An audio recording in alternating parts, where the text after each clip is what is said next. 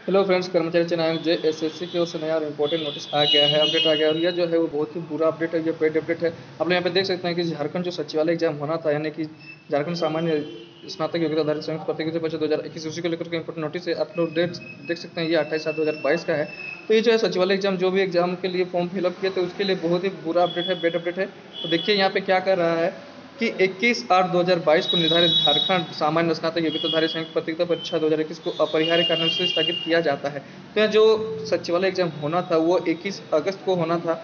ये आयोग की ओर से कहा गया था जैसे की ओर से कहा गया था तो उसी किसी कारणवश यहाँ पे बंद कर दिया गया, स्थगित कर दिया गया है। अब इसका एग्ज़ाम कब होगा, ये तो अभी तक कुछ पता नहीं है। तो यही एक बहुत बड़ी बुरी अपडेट है और ये परीक्षा की अगली तिथि आयोग के अधिकृत वेबसाइट पर यथाशीघ्र प्रकाशित की जाएगी। तो यहाँ पर कहना है जेएसएससी की ओर से कि इसके लिए जो डेट होगा, वो आगे बता दिया जाएगा। तो आप लोग जो है ऑफिशियल वेबसाइट पे विज़िट करते रहिए और हो सकता है मैं आप लोगों को बता ही दूँगा। तो आप लोग ऑफिशियल वेबसाइट में भी जा करके देख देखते रहें।